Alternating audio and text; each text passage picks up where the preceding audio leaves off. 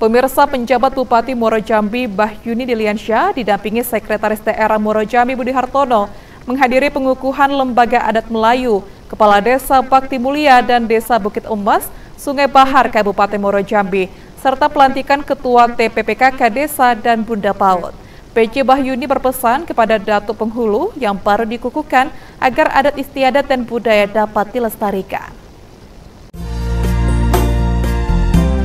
Bertempat di kantor desa Bakti Bulia, penjabat Bupati Muaro Jambi Bahyuni Deliansyah didampingi oleh Sekretaris Daerah Kabupaten Muaro Jambi Budi Hartono, Kepala OPD, pengukuhan Lembaga Adat Melayu, Kepala Desa Bakti Bulia dan Desa Bukit Emas Sungai Bahar Kabupaten Muaro Jambi, serta pelantikan Ketua TPPKK Desa dan Bunda Paut. Kedatangan penjabat Bupati Muaro Jambi disambut hangat oleh pemerintah kecamatan dan desa, serta tokoh masyarakat Desa Bakti Mulia dan Desa Bukit Emas, Kecamatan Sungai Bahar.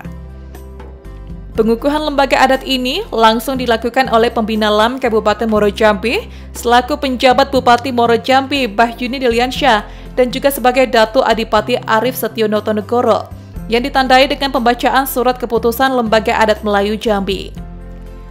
Penjabat Bupati Muaro Jambi, Yuni Diliansyah, dalam sambutannya mengucapkan selamat atas pengukuhan Datu Penghulu Lembaga Adat Desa Bakti Mulia dan Desa Bukit Emas, Kecamatan Sungai Bahar. Serta ucapan selamat juga kepada Ketua TPPKK Desa dan Puda Paut yang juga dilantik.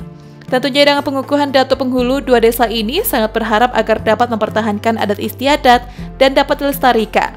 Hal ini sangat penting untuk mempertahankan budaya pada masyarakat Muaro Jambi khususnya desa dan tentunya untuk kepada Ketua TPPKK Desa dan Puda Paut yang baru dilantik agar menjalankan amanah yang diembankan kepada TPPKK merupakan perpanjangan tangan dan mitra dari pemerintah Moro Jambi.